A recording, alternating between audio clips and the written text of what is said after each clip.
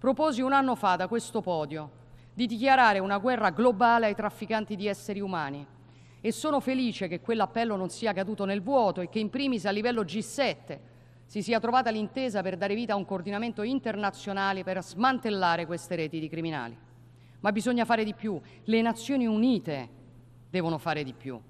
perché queste organizzazioni criminali stanno riproponendo sotto altre forme una schiavitù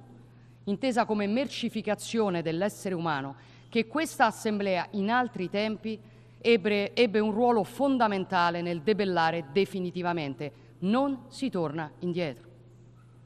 Sconfiggere gli schiavisti del terzo millennio è possibile e possiamo farlo se uniamo le forze con una maggiore cooperazione e con iniziative congiunte tra le nostre forze di polizia, i servizi di intelligence, le autorità giudiziarie, adottando la, fo la formula follow the money una intuizione di due grandi giudici italiani,